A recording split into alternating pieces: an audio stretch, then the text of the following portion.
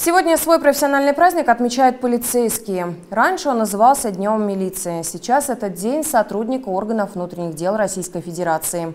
В условиях пандемии никаких торжеств по этому поводу в нашем округе не проводилось. Тем не менее, особо отличившихся сотрудников, чья служба по-прежнему опасна и трудна, руководство Муромского отдела полиции отметило.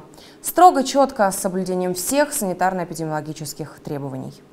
Сильные, смелые, боевые. Они на страже порядка 24 на 7, в любую погоду. Речь идет о нашей доблестной полиции, которая сегодня отмечает свой профессиональный праздник.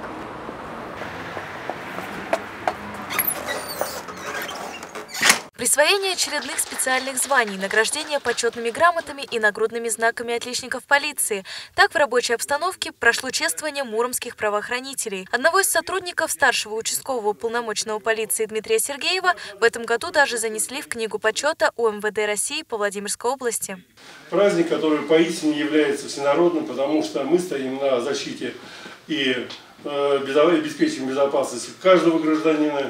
В любое время дня и ночи телефон 02 всегда он в доступном режиме, и это означает, что каждый гражданин может обратиться за защитой. Один из сотрудников Владимир Голицын в органах внутренних дел уже более 28 лет. За годы работы поднялся по карьерной лестнице от участкового инспектора милиции до заместителя начальника муниципального отдела. Владимир Юрьевич мечтал носить погоны, поэтому в 86 году поступил в военное училище. Но жизнь сложилась так, что пришлось сменить армейские погоны на милицейские. Владимир Юрьевич один из тех, кто успел поработать не только в полиции, но и в милиции. Суть службы осталась одна и та же. В первую очередь задачи, они не изменились. Что милиция, что полиция. В первую очередь призваны обеспечить правопорядок на улицах и в общественных местах, безопасность граждан. Изменилось, оптимизировалось штатное расписание, э, приведено к реалиям современного времени, э, что позволяет, наверное, более качественно нести службу, усовершенствовать свою деятельность. Сейчас более распространена компьютерная техника – различного рода видеоконференции, аудиоконференции. То есть мы сейчас уже не ездим, например, во Владимир, а все совещания проходят в режиме, как говорится, онлайн.